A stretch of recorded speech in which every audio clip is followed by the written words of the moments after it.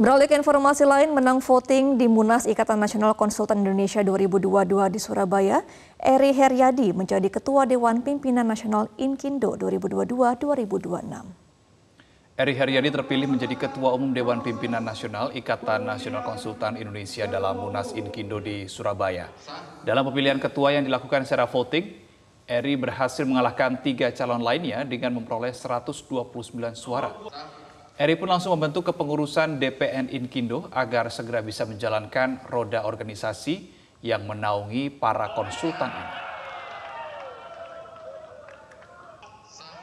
Banyak yang harus diperbaiki, eh, banyak tentang regulasi, tentang sertifikasi, tentang pengambilan kelas kecil, tentang kerjasama antar anggota. Banyak sekali Pak, jadi kita akan konsolidasi supaya bisa memperbaiki.